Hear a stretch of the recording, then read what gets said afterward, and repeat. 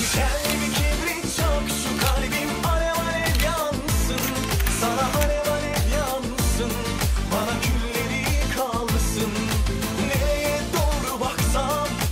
Hey what's up guys, it is Sykoo or Sam here and welcome back to another video guys and today we're gonna be talking about the best sources for learning programming and indie game development. And guys, if you enjoyed this video, make sure to drop a like down below and also hit subscribe if you want to stay up to tune for cool content like this one and also hit me up in the comments about what you want to see in the next video and let's get started with this. So as you guys might know, some people learn on their own and some people like learning through guidance. Most people do learn by either way and it should be fine but most people just prefer going with one single way so that they can actually focus on it and learn the best way possible. And by guidance, I simply mean that you either have like a website which is going to guide you through all these steps that are necessary for you to learn programming, or else you have like a teacher who's going to talk you through just like a website would technically do.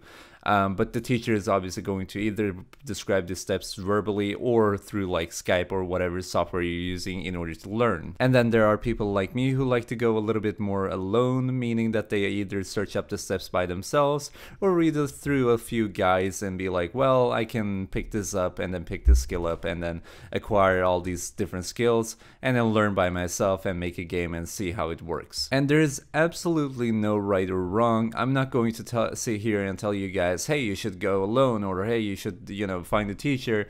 I'm basically going to teach you or at least try to teach you the mentality that I have so that you can actually be a little bit more open-minded when you're picking one of these options. There has been a lot of people who have been asking me throughout my years where basically which kind of platform I use to learn and how, how I learned programming in, in general and how I got into game development. And basically what I always tell people really ignorantly is the fact that I just use YouTube, which is true, like to an extent, because I also use Google and I use Unity's forums to learn C Sharp in Unity and also how to learn Unity. But for the most part, I literally use YouTube. Like there was literally no other website that I used which I paid for or like hire the teacher or whatever. And like i mentioned in earlier in this video guys i am a lone wolf. Like i love being alone.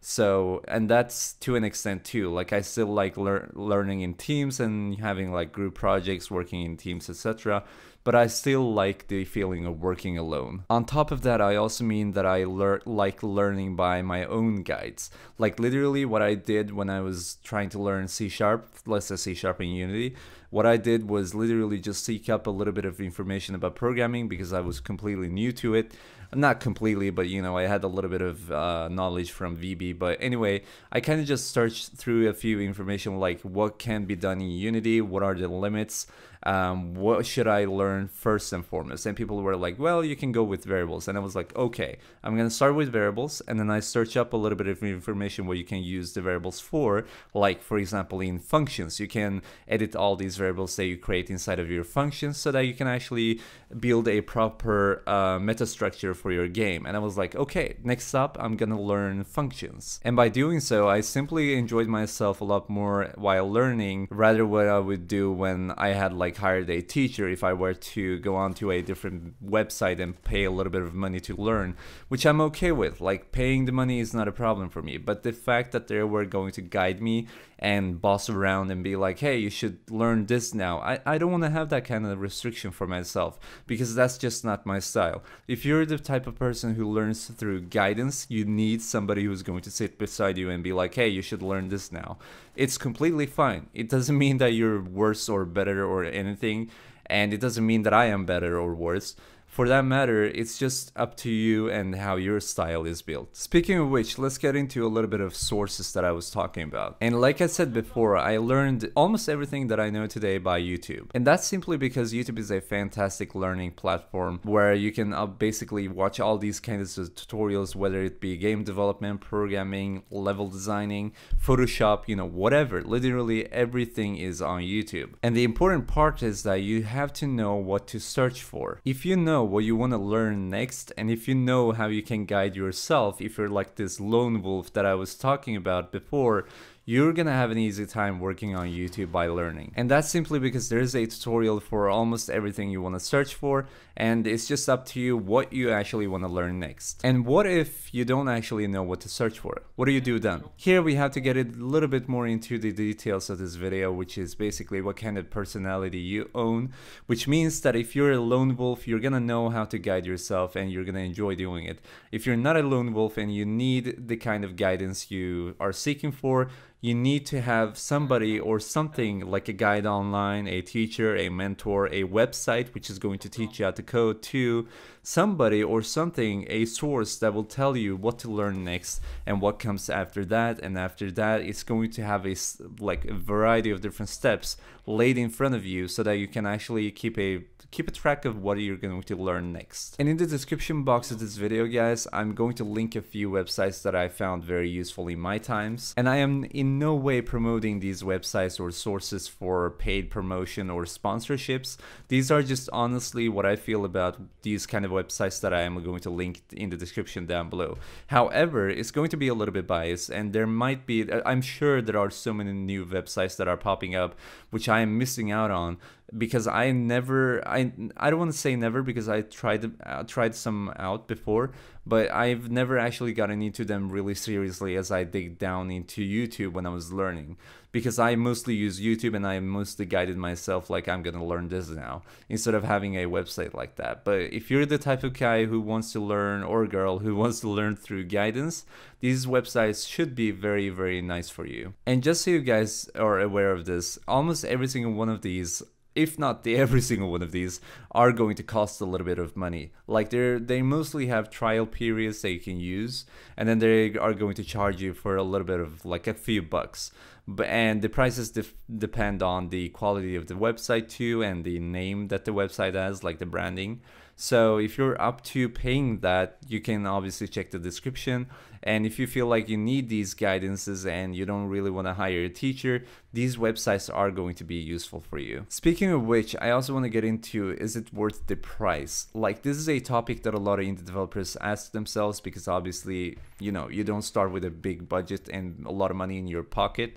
But basically, I what I usually say is if you feel like you're learning and enjoying your time, you're definitely not wasting money, you're investing and spending. And the same thing goes for a teacher. If you're gonna hire a teacher who's going to teach you how to code or start at a school that you're gonna pay money for learning how to code, if you're enjoying your time and you really genuinely feel like you're thoroughly learning how to code, you're not wasting any money, you're just investing for your future. And one strong suggestion by me to you guys is straight away don't ever let people tell you you shouldn't do this or you shouldn't do that, you shouldn't learn that way because it's better this way don't ever take that kind of feedback seriously. I would never ever sit on my chair and be like, you should never ever hire a teacher. It's very useless because that's not up to me. It's up to your style and up to you how you actually learn. And the same thing goes for these different websites. I would suggest you to check out YouTube for some tutorials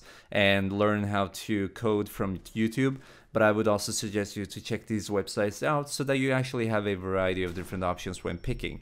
I don't want to be biased, and I would say if even if you want to use YouTube and you're the type of person who wants to learn through guidance and you don't want to spend any money at all, you can still use YouTube and use a few guides online that you're gonna find. And I can actually link a few if you want me to which you can use in order to see what you should actually learn next and what kind of step comes after that you know if, in order to learn and have like a schedule for yourself. And one last thing I want to state before ending this video guys. Even if you get a teacher even if you use a website that is going to guide you by like a time schedule and even if you're going to go to a school for learning programming specifically always, always lay five steps ahead.